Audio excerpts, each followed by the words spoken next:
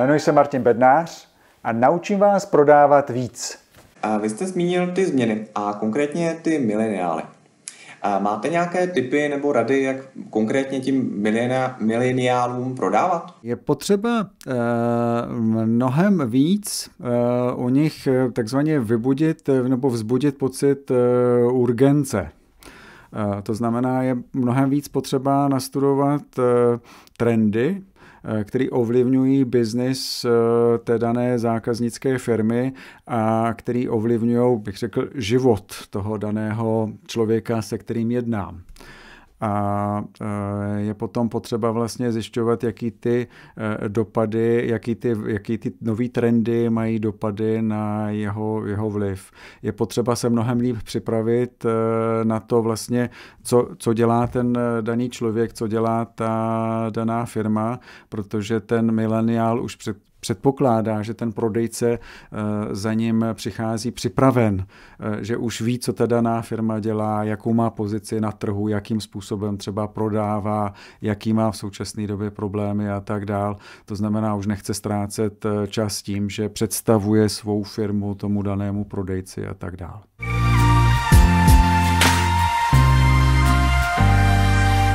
Jmenuji se Martin Bednář a naučím vás prodávat víc. Stáhněte si tři checklisty, které vám pomohou prodat víc. Přihlašte se na online trénink Akcelerace B2B prodeje. Link najdete na mém webu a na mém blogu martinbednar.net.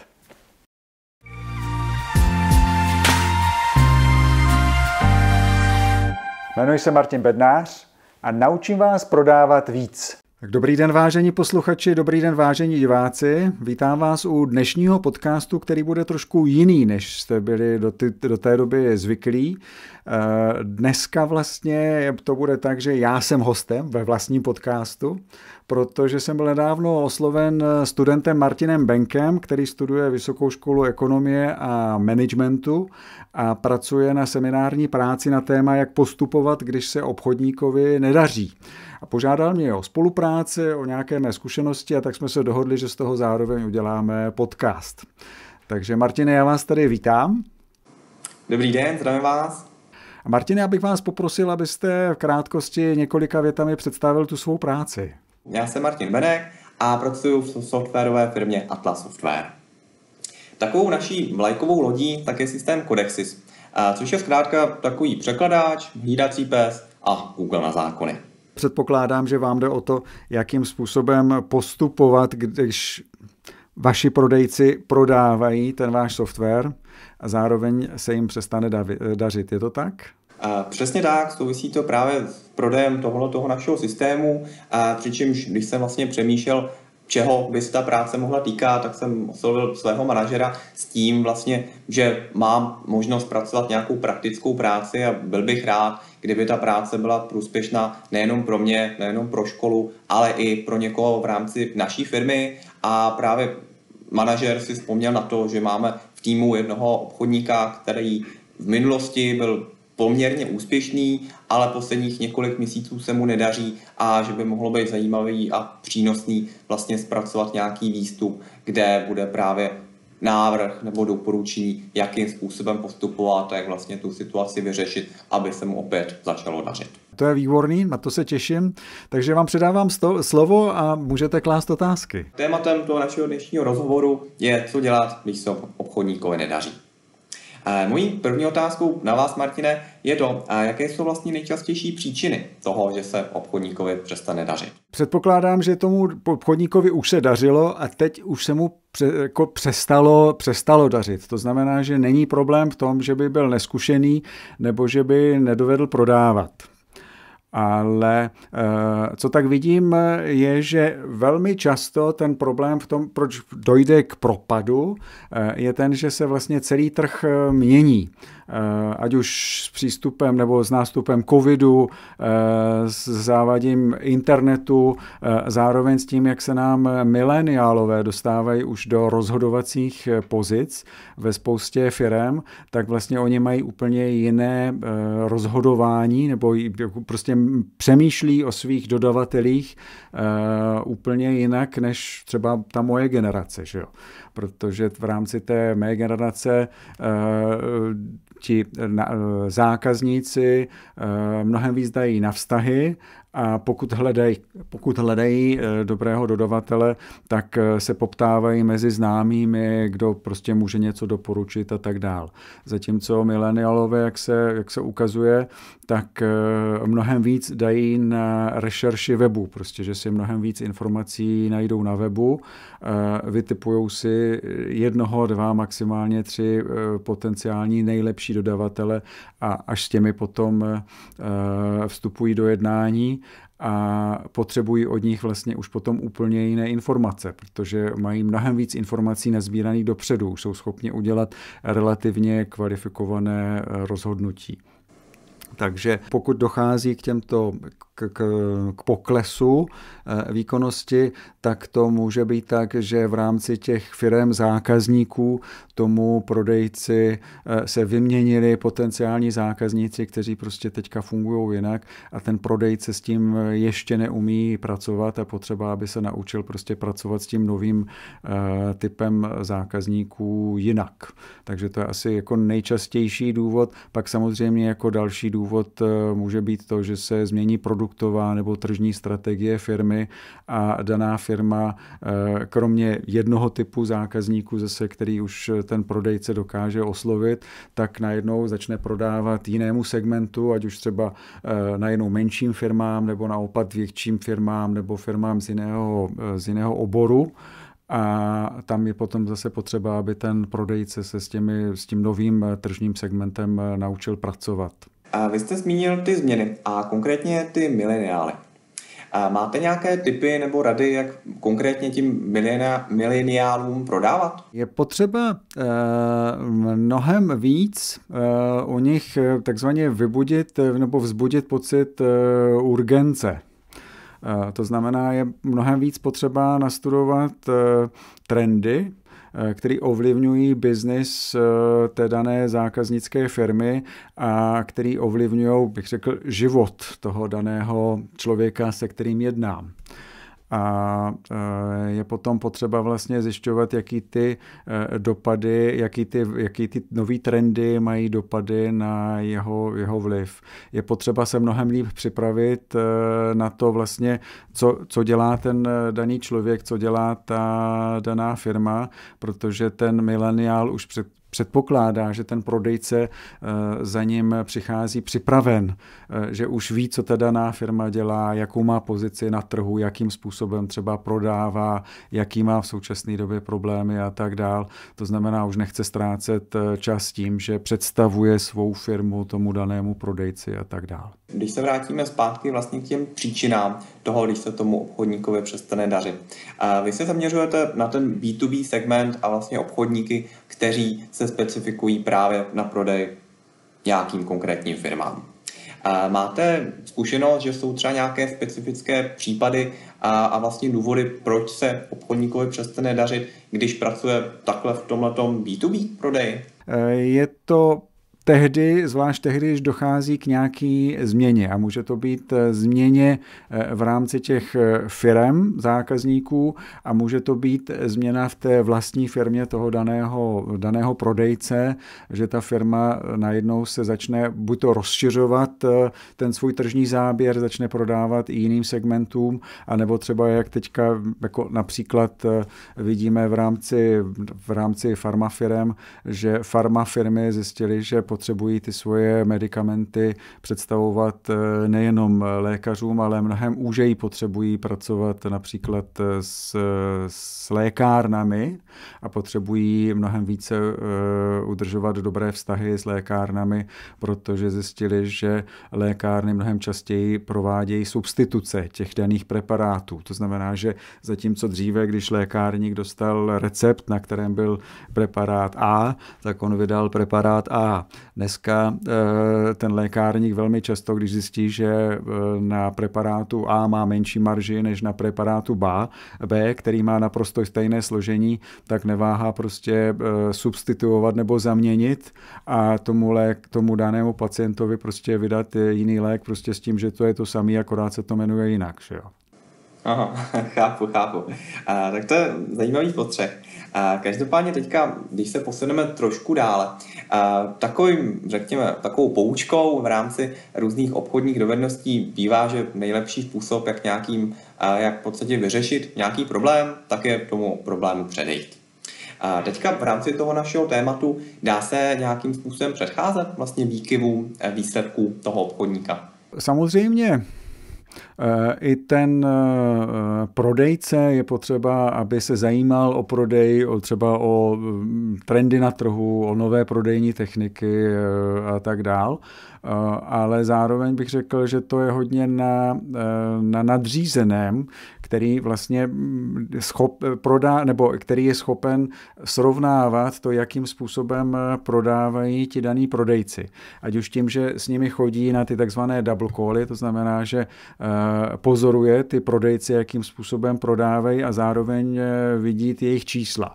Znamená, když vidí, že má pod sebou třeba 10-20 prodejců a vidí, že se ty čísla eh, snižují najednou všem eh, nebo velkému počtu z nich, tak vidí, že to nemusí být prodej, nebo nemusí to být problém jednotlivých prodejců, ale může to být problém nějakého segmentu právě nebo konkurenční tlak a tak dále.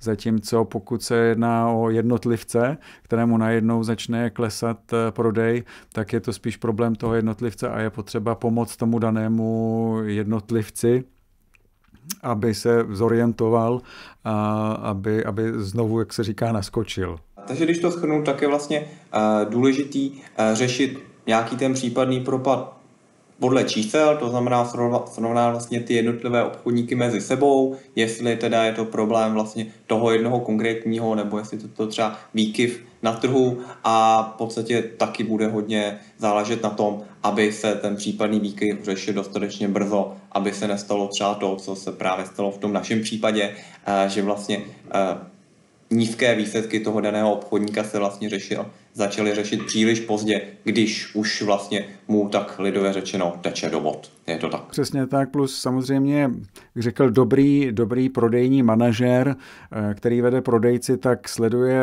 nejenom eh, počet uzavřených obchodů nebo objem uzavřených obchodů, ale sleduje celý ten prodejní trichtýř.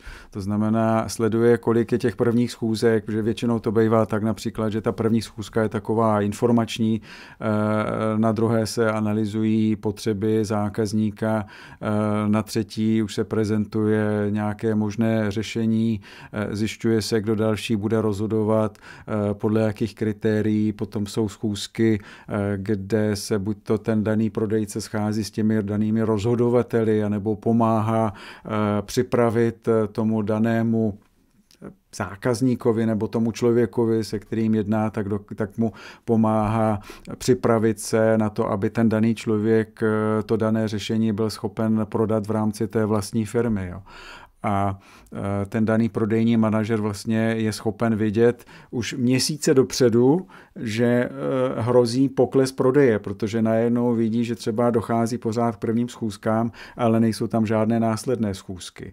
Jo? Nebo vidí, že jsou následné schůzky, ale e, je míň, míň nabídek, a nebo už vidí vlastně, že pak prostě v, tom, v, té, v té poslední fázi, že teda hold chodí nabídky ven, ale nejsou, není z toho žádný biznis, že jo. Ale to že, to, že vlastně dojde k nějakému poklesu prodeji, to se většinou jako v těch číslech začíná projevovat už, už několik málo měsíců dopředu. Teďka pojďme se posunout teda přímo k tomu obchodníkovi jako takovému a zkusme se tak nějak vžít do té jeho situace. A v podstatě, co byste poradil tomu obchodníkovi, když prostě reálně kouká, že standardně mývá nějaký obrat, řekněme 500 tisíc korun každý měsíc a nejednou měl dva nebo tři měsíce uh, nulu. Jak by on měl vlastně postupovat v takovéhle situaci? V dané situaci asi bych, byl, asi bych radil danému obchodníkovi nebo obchodníkům, aby byli otevření, aby, aby hledali, eh, co jim nefunguje protože obchodníci mají velmi často tu tendenci eh, dělat to samé, akorát jako horečněji, to znamená více snažit, víc, víc jako například tlačit, být důraznější v těch jednáních a snažit se jako víc přesvědčit toho člověka, který mají proti sobě, aby si koupil, ale ono to moc dobře nefunguje, protože když se bavíme o B2B, tak čím výš jdeme, o čím větší zakázky se jedná, tak tím jednáme už se zkušenými manažeři. A čím je zkušenější manažer, tak tím méně má rád nějaký frontální tlak a, a je schopen se s ním poprat. To znamená, je schopen toho, toho prodejce bez problému odmítnout. Že jo? Takže e, jako zvýšení tlaku nebo zvýšení horečného úsilí nepomáhá a je potřeba se podívat na to, kde vlastně, co je ten důvod, e, proč ten daný člověk e, vlastně třeba odmítá se se mnou sejít znovu. Jo. Eh, co, co, co bych doporučoval, co velmi málo prodejců dělá, tak, má, tak většinou prodejce, nebo velmi často prodejce jako jde na schůzku a jeho cílem je, no jako, tak jako uvidím, eh, zjistím, co zákazník potřebuje a tomu nějak jako nabídnu a výstup je, no, co, co to půjde, jako s čím bude tak zákazník e, souhlasit. Já bych doporučoval si jako zjistit o té firmě natolik, abych byl schopen, abych už v hlavě měl připravený nějaký řešení nebo nějaký produkt, který je pro mě otvírač dveří a byl schopen analyzovat situaci tím, tímto směrem a zároveň bych doporučoval, aby ten cíl Eh, daného prodejce například na té první schůzce eh, nebylo udělat biznis, ale například říct si o určité informace. Jo, jako například pokud eh, prodávám eh, leasing, tak potřebuju vědět eh, něco o autech, jaký, jakou flotilu, třeba jak velkou flotilu má, jaký má geograficky rozloženou a tak dál. To znamená, vím, jaký informace budu potřebovat od toho svého potenciálního zákazníka a, a vím, že tyto informace si prostě o něj musím říct. To znamená, mým cílem je, abych zákazníka přesvědčil, aby mi poskytnul ty tyto informace, ne udělat biznis. Tak, teďka ještě, když zůstaneme chvilku vlastně u té jedné konkrétní schůzky jako takové, tak co my ve firmě velmi často děláme, je řekněme analýza té konkrétní schůzky. Co se povedlo, co se nepovedlo. To je samozřejmě takový ten základ, který napadne asi každého, tak to se mi nepovedlo, to odbourá, co se mi povedlo, tak to budu dělat dál. Každopádně máte třeba nějaké konkrétní techniky nebo třeba otázky, které si na konci toho jednání pokládáte a vlastně jak třeba analyzujete tu danou schůzku, která se vám povedla nebo nepovedla. Tam bych doporučoval si dopředu udělat tu přípravu. To znamená dopředu si říct, co je cílem té dané schůzky, jak jsem říkal, ne udělat biznis, ale eh, dosáhnout určitého pokroku, ideálně toho, aby mi ten eh, zákazník buď to poslal nějaké informace nebo domluvil schůzku s někým v rámci té firmy a tak dál.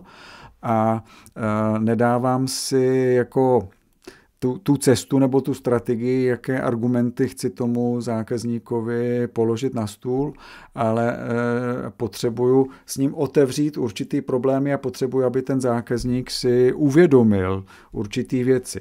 A nejlíp tady tohle dělám otázkami. To znamená, já si, já si vždycky, když se připravuju na, na schůzku, a to sami samozřejmě e, potom radím i prodejcům, aby si připravili otázky, které budou pokládat e, danému zákazníku zákazníkovi a očekávám nějaké odpovědi. A pokud dostávám jiné odpovědi, než já očekávám, tak to znamená, že jsem buď to neodhadnul situaci, anebo jsem nesprávně položil ty otázky. A většinou potom, pokud, dostáv, pokud se ty odpovědi zákazníka liší od mého očekávání, tak, tak, tak vím, jestli to bylo jako špatnou přípravou anebo špatným položením otázek a vím tudíž na příště, uh, co dělat jinak.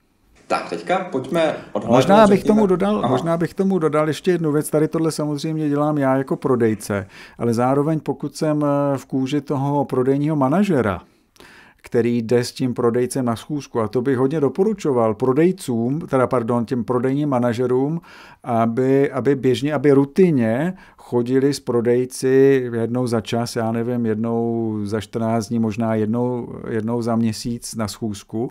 A pokud daný prodejce uh, má v současné době pokles v prodeji, tak asi je to uh, případ nebo je to příležitost tomu, abych s tímto prodejcem chodil častěji protože potřebuju lépe odhadnout tu překážku, eh, která se mu postavila do cesty a potřebuju ho nějakým způsobem eh, podpořit a, a pomoct mu tu překážku překonat.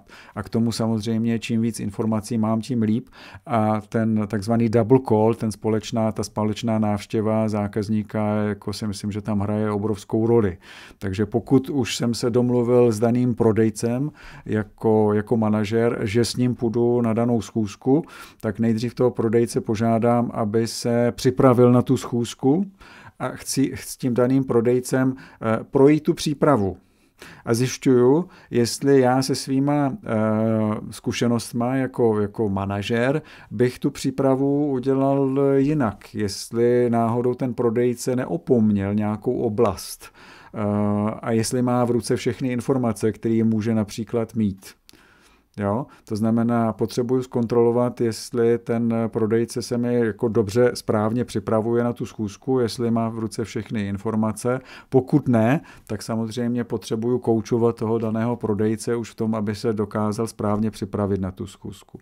Potom jdu na tu schůzku s tím prodejcem a pozoruju, eh, co vlastně ten prodejce dělá, jakým způsobem vede ten rozhovor, jakým způsobem klade otázky, jak jakým způsobem eh, vlastně dává na stůl tu danou potřebu, jakým způsobem odhaluje tu potřebu daného zákazníka, eh, důsledky, co se vlastně může stát, když tady tahle situace zůstane nevyřešená eh, a jak dokáže ten daný prodejce vytvářet ten pocit, pocit urgence, vlastně tu potřebu vlastně teďka začít řešit ten daný, ten daný problém potom po té dané schůzce vlastně vezmu ty svoje poznámky a zeptám se toho prodejce, jak je, jak je spokojený s tou danou schůzkou, jestli vlastně dosáhl toho, čeho si naplánoval. A pokud nedosáhl, čeho naplánoval, eh, tak se ptám, OK, a co ti v tom vlastně zabránilo? Jo?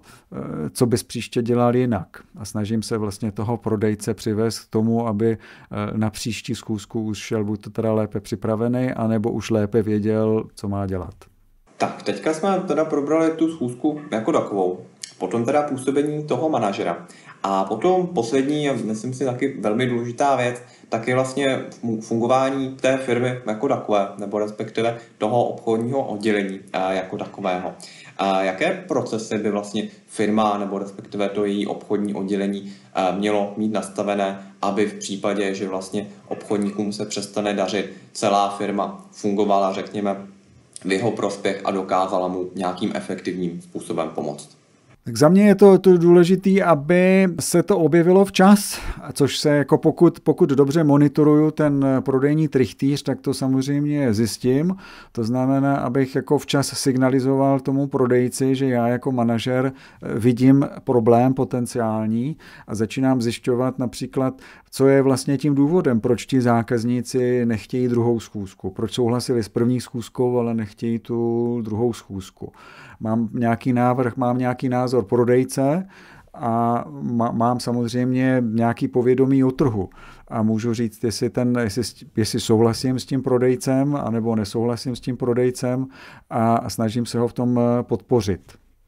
Jo, to znamená takový ten eh, včasný monitoring práce pomocí, pomocí těch, eh, těch postupných indikátorů si myslím, že je obrovsky, obrovsky důležitý. Tak, teďka jsme teda poměrně podrobně vlastně probrali, co dělat.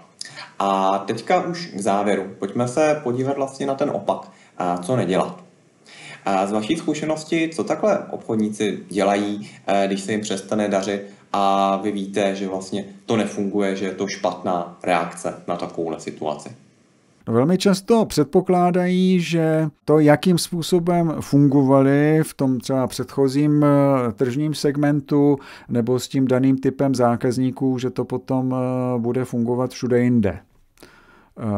To znamená, že mají tendence opakovat ty svoje, ty svoje zajeté vzorce chování nebo vzorce jednání a nesnaží se zamyslet nad tím, jakým způsobem to dělat jinak. Samozřejmě tam jde o nějaké ego. Prodejce v podstatě typicky potřebuje mít obrovské ego, aby prostě přežil ty odmítnutí. Na druhé straně velmi často tady tohle ego těm prodejcům brání mít potom tu sebereflexi, aby si uvědomili, že je potřeba udělat eh, něco jinak a že dost možná něco, co dělají, tak, eh, tak nefunguje. Jo? A zase, na, když potom se na to podívám ze strany toho obchodního manažera, tak ten potřebuje, eh, potřebuje dokázat vlastně pracovat v dané situaci s tím prodejcem tak, aby jako nezničil to jeho ego nebo nepošlapal to jeho ego, protože co mu pak jako, nebo co pak nastane, že ten prodejce, který může být jako v podstatě velmi dobrý, zkušený a tak dál, by mu odešel, což eh, může být chyba, ale pomoct eh, jako otevřít ten, ten horizont tomu, aby si ten prodejce uvědomil, že je potřeba udělat nějakou změnu. A k tomu musím říct to samozřejmě, že někteří prodejci si to uvědomí a udělají tu změnu, ale prostě jsou ti jako prodejci, kteří prostě tu sebereflexi už možná nemají, eh, prostě protože jsou na tom trhu spoustu let, já nevím, 20 let a 20 let to dělají nějakým způsobem a nikdo jim přece nebude povídat, jak to, jako, jak to mají dělat. Hold se může stát, jako, že čas tady tohohle prodejce jako, jako skončil v dané firmě a daná firma hold jako nezbyde nic jiného než říct OK, tak jestli, seš tako, jestli si myslíš, že jsi tak dobrý, tak hold jako dělat někam jinam. Jako s tím zase asi, asi nic nenaděláme. No. A, tak potom další věc, kterou my jsme vlastně i v rámci firmy probírali, tak je tlak toho manažera na toho konkrétního obchodníka. A většina lidí zase bude souhlasit s tím, že eh, někteří obchodníci eh, pracují lépe pod, pod tlakem. Někteří pak naopak preferují, řekněme, takovou jako volnější atmosféru, kdy samozřejmě tahle ta situace, kdy obchodník má špatné výsledky, je pochopitelně specifická. A každopádně, jak se koukáte vlastně na, eh, řekněme, tu reakci manažera, kdy na toho obchodníka tlačí hodně a hodně po něm chce, aby teď tento měsíc už byly ty výsledky jinak, bude nějaký velký problém, anebo naopak na reakce manažerů, které, kteří vlastně takovýhle výkyv moc neřeší a nechávají tomu tak nějak volný průběh.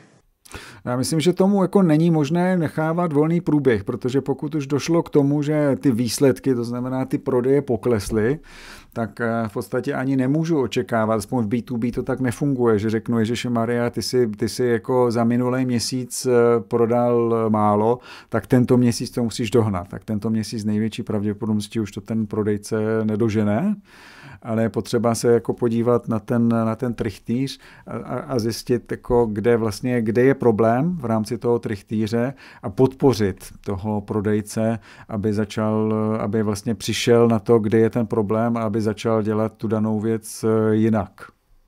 Jo? Nemá cenu tlačit na prodejce, prodej víc, Jo?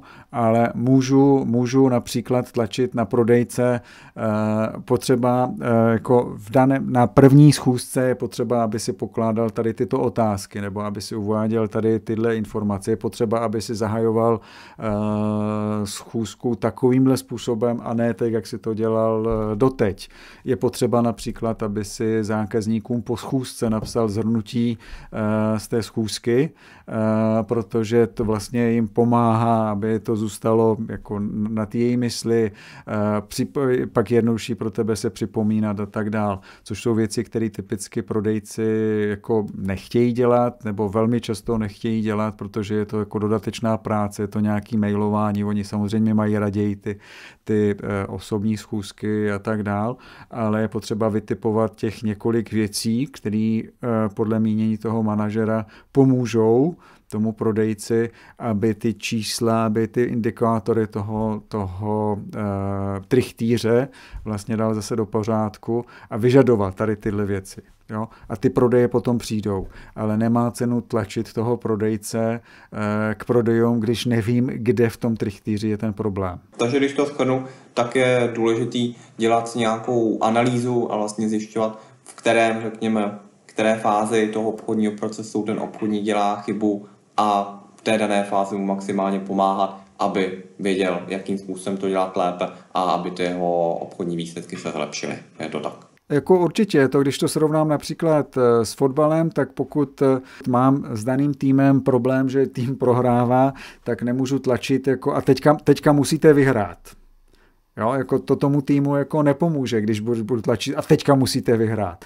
Musím říct, eh, OK, a teďka třeba ty a ty budete chodit víc, víc dopředu a naopak ty a ty vy budete zůstávat jako víc vzadu, nebo prostě cokoliv, ale musím prosazovat určitou strategii, určitou, jako, nebo určitý herní taktiky a musím chtít po těch hráčích, aby se mi, eh, aby mi nějakou taktiku dodržovali, ale nemá cenu na ně tlačit, aby prostě dávali víc gólů.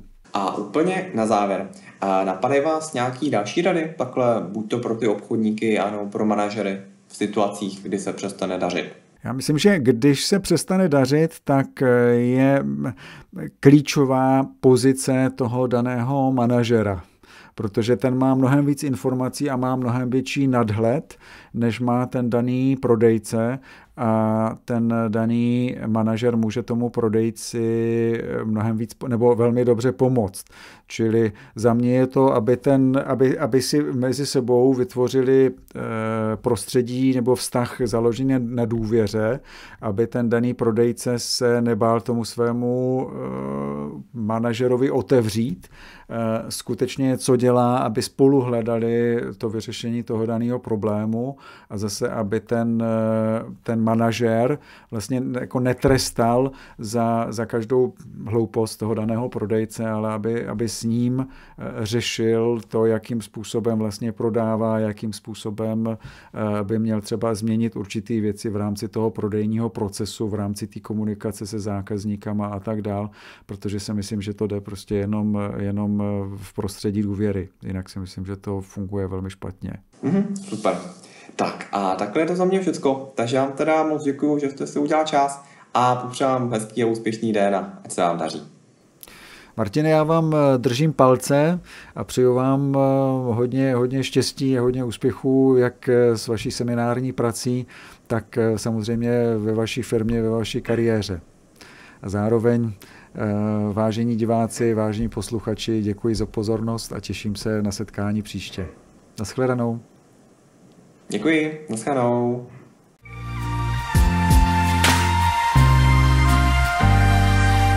Jmenuji se Martin Bednář a naučím vás prodávat víc. Máte tipy na témata anebo hosty podcastu o B2B prodeji?